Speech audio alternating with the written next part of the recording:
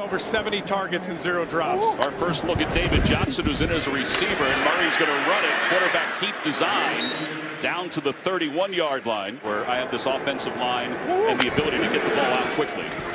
Because there are just athletes everywhere.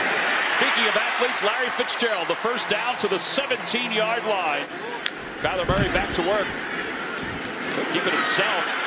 Little RPO, he'll keep it. He's got some daylight inside Browns territory.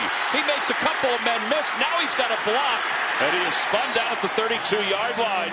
Denzel Ward makes the tackle. Four receivers, no tight ends on third down. And Murray has time in the pocket. Throws to the middle of the field. Pass is complete. And they've got a first down.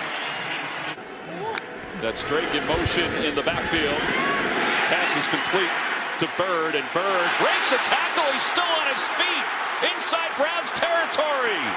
He had a cheering session on the sidelines. Himself in position to make plays. Third down at a yard. Off the play fake. Murray's going to keep it himself. And he's got the first down and more inside the 10, out of bounds at the 7. On second down, Murray has time to the back of the end zone for Arnold. A leaping attempt. Did he get it? He did. Touchdown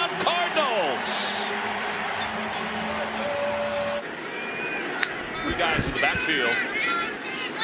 He's going to throw. Throws to the near side. Pass is complete to the near side for Byrd. First down. Murray to throw again. And a diving catch by Byrd. Greedy Williams in on the coverage.